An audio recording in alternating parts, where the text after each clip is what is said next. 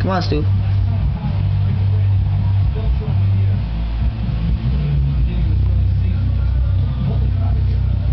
Get it. He's having a hard time swimming. There he goes. Let him eat it. I know, but his neck is so long.